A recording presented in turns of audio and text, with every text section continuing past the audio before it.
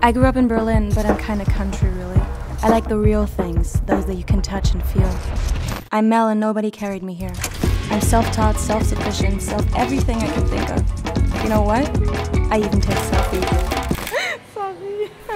I've always loved wandering around cities, finding those hidden places, thrifting worn out shirts and following cats. I stay true because I feel myself, now more than ever. This is my journey, my cam, my diary.